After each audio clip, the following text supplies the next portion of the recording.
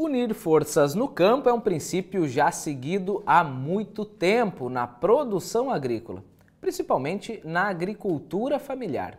Quando grupos de pequenos produtores se juntam, ganham em volume de produção, diversidade, redução de custos e maior poder na hora de negociar parcerias.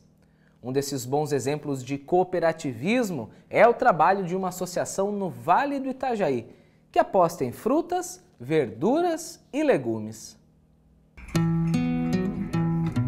São seis e meia da manhã em Indaial, região do Vale do Itajaí.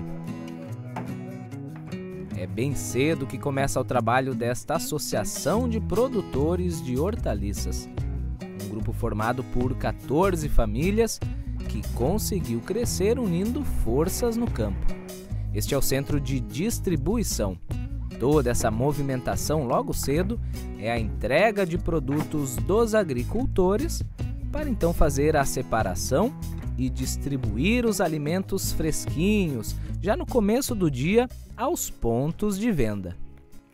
Esse, esse sistema ele funciona com despacho, recebimento e despacho por três dias por semana, que é na segunda, quarta e sexta. O carregamento ocorre nesta segunda e quarta e sexta, início 6 e 30 da manhã, mais tardar 8 horas, já o caminhão se direciona para entrega em oito endereços, ou seja, oito lojas da Cooper Agro, em que essas lojas se localizam no município de Blumenau e Indaial e hoje, recentemente, iniciaram algumas entregas na, no município de Rodeio e município de Ibirama. Aqui nasceu um projeto estruturante apoiado pelo programa SC Rural, com foco na melhoria da competitividade e humanização da mão de obra familiar. O principal objetivo era adequar o galpão para ser a central de distribuição, além de equipar o espaço com rampa niveladora, caixas para embalagem e outros equipamentos. Uma ajuda essencial que permitiu às famílias atenderem redes de supermercado e cooperativas. A sobrevivência dos pequenos estão nesta organização. Para, por quê? Para que os mesmos se tornem competitivos com os grandes. E o pequeno é muito difícil hoje permanecer nessa área do mercado. Agora, no momento em que eles se organizam, eles têm como realmente apresentar volumes de produção e competitividade no mercado.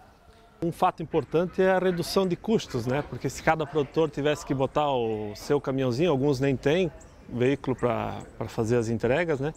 Então a gente reúne a carga toda num caminhão só, paga o frete, adquirimos as embalagens para colocar as hortaliças, né? Também comprando em conjunto fica tudo mais barato, né?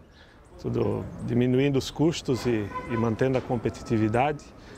E como eu disse anteriormente, né, a troca de informações é bem mais rápida, né? Quando a gente está aqui na carga e na descarga, a gente conversa bastante não só sobre preços e, e quantidades, mas também sobre manejo da cultura e tal. É bem interessante. Esta associação foi criada em 1999, motivada pela EPAGRE e incentivada por uma cooperativa da região. Hoje, vive seu momento mais importante, com incremento de até 20% na renda de seus associados. E melhor, seguindo em busca de mais famílias para fortalecer esse trabalho colaborativo de ajuda mútua na agricultura familiar.